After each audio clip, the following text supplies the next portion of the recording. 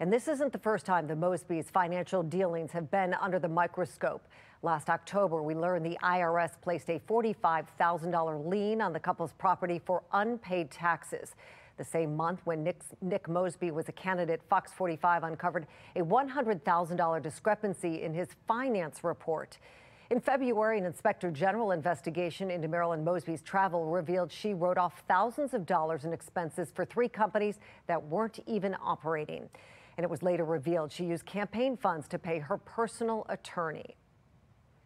And despite these financial issues that we are talking about right now, the Mosbys closed on a nearly half million dollar condo in southern Florida last month. As the Baltimore Brew first reported, Marilyn Mosby purchased this two bedroom property near Sarasota.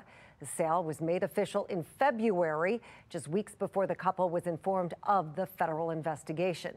Now, she is also the owner of a second home in Kissimmee, Florida, worth $545,000 which he purchased in September of last year.